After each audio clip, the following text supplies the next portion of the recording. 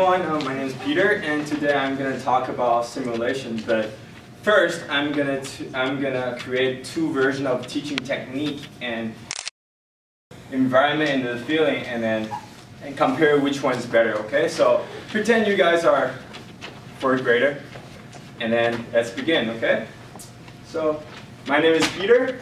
Today I'm going to teach you guys about um, selling and buying. So um, I have four products here that each product have their um, own price. So it's a Mike Stern C CD that costs $150. Uh, Lorax puppet, it's a $100. Pen, it's $1.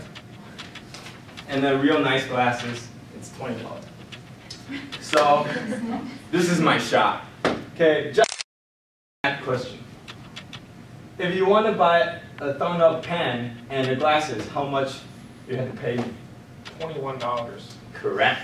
Okay, so if you want to buy a Lorax and you only have fifty dollars, can you buy the Lorax? I can't. You can. Uh, excellent. Okay, so today we help people sell things and we review a little bit of math. So I'm, uh, I hope you guys know how to buy things when you go out to the store and pay the right amount.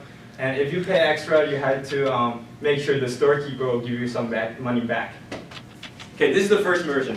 Okay, the second version. Good morning, everyone. My name is Peter, and today I'm going to teach you guys about um, selling and buying. And I have, uh, I'm going to open a store that selling really awesome things. So I have a Lorax at $100, a Mike Stern CD with signature, glasses, $20, and a thumb up pen, $5. And this is my shop. So today I'm going to sell these products and I'm going to review a little bit of math, okay? So, Josh, I'll give you some toy money. Here's my toy money. and then come up here and pick the items that you like.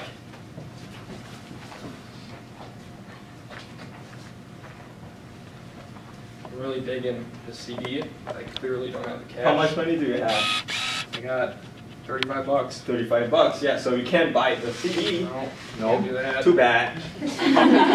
Second choice, but I know you like this, but you can't. so I'm gonna probably have to go.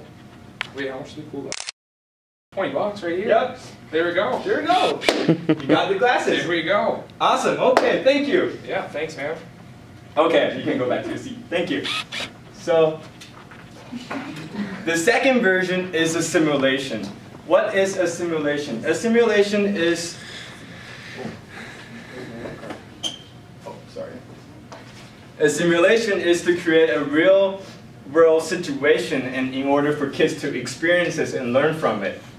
And why is this so important and how um, simulation does is According to Lunce, the author of Simulate, Simulations Bringing the Benefit of Situated Learning to Traditional Classes, sim education simulation is to motivate the learner to engage problem solving, hypothesis testing, experimental learning, and develop the mental models. And it also integrated a real world system around us in order to learn without um, destructive consequences. So for example, if uh, Josh come here and you know pay 30 bucks to get a $100 puppet, no, teacher would say that it's wrong. You won't get caught by the store shopkeeper and they call the police come and take you away, right? It's okay to make mistake. So do not need to worry about this because it's a simulation.